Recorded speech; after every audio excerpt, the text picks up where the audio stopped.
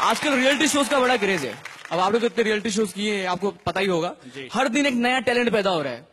पहले के जो रियलिटी शोज़ होते थे उसमें एक जज होता था और बारह तेरह कंटेस्टेंट परफॉर्म करते थे।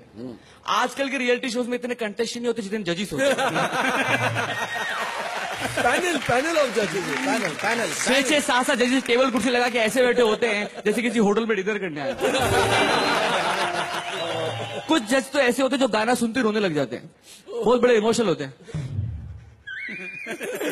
क्या गाया बेटा? क्या गाया बेटा, मैं ज़िंदगी में आज तक नहीं रोया। पर तेरी आवाज़ ने मुझे रुला दिया बेटा। तू लिख ले बेटा, तू लिख ले। तू जहाँ भी जाएगा, लोग तुझसे पूछेंगे, तू कहाँ से आया है? बेटा, तेरी आवाज़ में दर्द है। और वो दर्द मेरे पेट में आ गया और मेरी आँख में आँसू आ गए, बेटा। फिर तू यहाँ गाने लायक नहीं है। ये मंच तेरे लायक नहीं है, बेटा। थैंक यू सर तू प्लेबैक सिंगर बनने लायक भी नहीं है।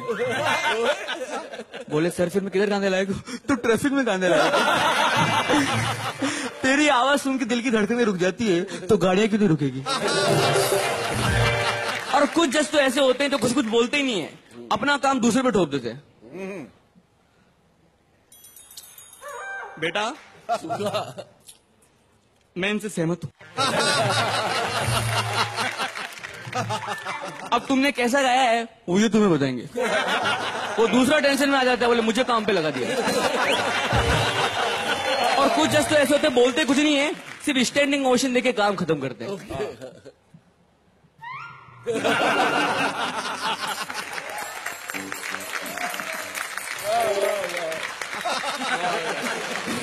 और कुछ जज ऐसे होते हैं जो बोलते क्या है और हाव भाव क्या देते हैं?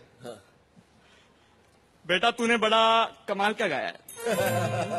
मैं चाहता हूँ तो ज़िंदगी में बहुत आगे जाए और देश का नाम रोशन करे। Wish you very all the best और कुछ जज ऐसे हो जो खुद जज होते हैं पर जजमेंट कंटेस्टेंट से कराते हैं आ, बेटा तुम बताओ तुमने कैसा गाया? तुम बताओ तुम्हें सुर था तुम्हें लय थी तुम्हें ताल थी तुम्हें क्या कमी थी सब तुम बताओ मैं कुछ नहीं बोलूँगा। तुम ही अपने आप को पॉइंट्स दो। बोले सर सब मुझे बोलना है। तो आपको काय को बिठा रखा है। और वैसे भी इधर में सिंगर बनने आए हो जज बनने नहीं आए और कुछ जज ऐसे होते जो डरा के तारीफ़ करते हैं। पहले डराते हैं फिर तारीफ़ करते हैं। अच्छा। अबे! क्या गाया ये? कोई गाना है ये? ये जो तूने गाया है ना इससे साफ़ लगता है कि तू एक नंबर का घटिया नहीं बेहतरीन सिंगर और सुन और सुन कि तुझ में कुछ दम नहीं है। सुन रहा है ना? कि तुझ में कुछ दम नहीं है। हाँ। पर तेरी आवाज़ दमदार है। और सुन अब खुश मत हो और सुन कि वो तो मैं हूँ जो तेरी तारीफ़ कर रहा हूँ। कोई दूसरा जज अगर होता ना तो तुझे यहाँ से उठा के ले जाता और बाहर ले जाके अपनी फ़िल्मों में गाने का चांस देता। पर मेरे खुद के पास ही काम नहीं, तुझे कहाँ से दूँ? और आजकल शेखर जी क्रेज चल रहा है महागुरु का। एक सोफा खरीदते नया और एक महागुरु लाके बिठा देते।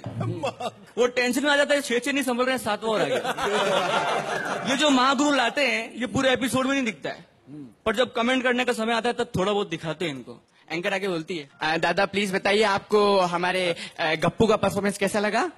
अब वो दादा ऐसे बोलते जैसे उसकी पोती हो।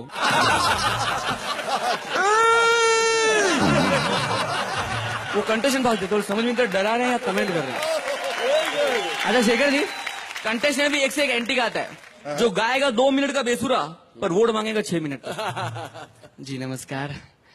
अगर आपको लगता है मैंने अच्छा गाया अगर आपको लगता है मैं देश की शान, देश की आवाज़, देश का सरताज बनने लायक हूँ तो आप मुझे वोट कर सकते हैं। मैं आपको बताना चाहता हूँ कि मैं राजस्थान से उदयपुर का रहने वाला हूँ तो एक राजस्थानी होने के नाते मैं चाहता हूँ पूरा राजस्थान मुझे वोट करे।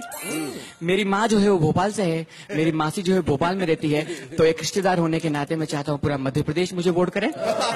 और मेरी मंगेतर जो है, होने वाली जो मेरी बीवी है, वो चंडीगढ़ पंजाब से, पंजाब में रहती है तो एक होने वाले दामाद के नाते मैं चाहता हूँ पूरा पंजाब मुझे वोट करे। और मेरे जीजू जो हैं, वो अहमदाबाद में अहमदाबाद में रहते हैं तो एक साला होने के नाते मैं चाहता हूँ पूरा गुजरात मुझे वोट करे